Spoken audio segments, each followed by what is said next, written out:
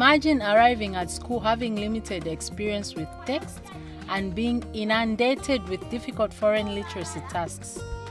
This is an overwhelming experience which would negatively impact how children feel about reading.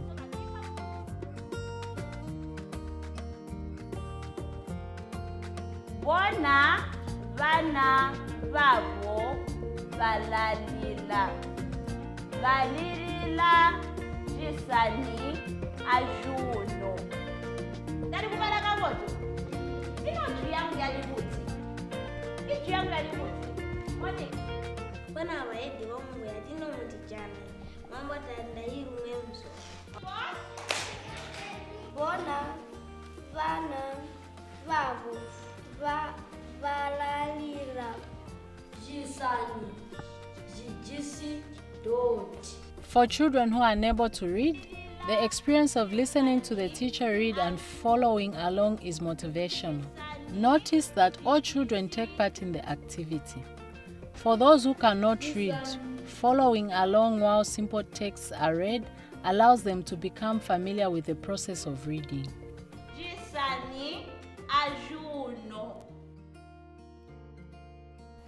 In small groups, children help each other to follow along.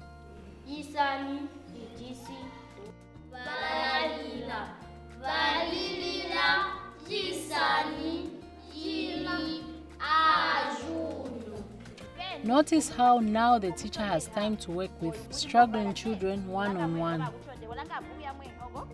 It is easy for struggling students to become demotivated. By coupling this activity with ongoing encouragement, teachers develop children's enthusiasm and interest in reading.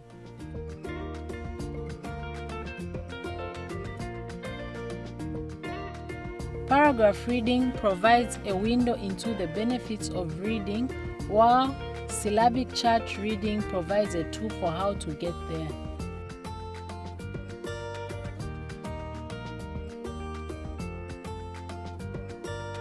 inokubhala futa kahumi na higataliha gwe eh gabalansi pokatyani pokabete katiya jipe lyajipepa gabala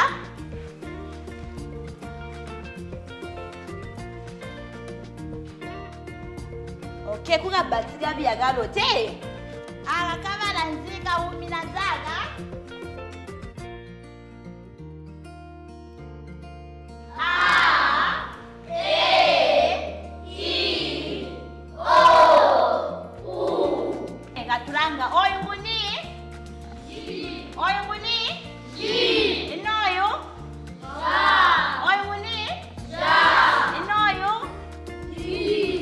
Daily practice with a syllabic chart helps young learners to start recognizing letters and form their own words through active listening, speaking, and reading.